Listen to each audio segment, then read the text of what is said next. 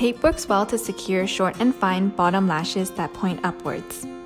It also helps press down puffy under eyes or high cheekbones. Cut about 1.5 inch pieces. You're going to start with the outer corners and place the tape along the lash line while avoiding the waterline. And you'll do the same on the inner corners to form an X.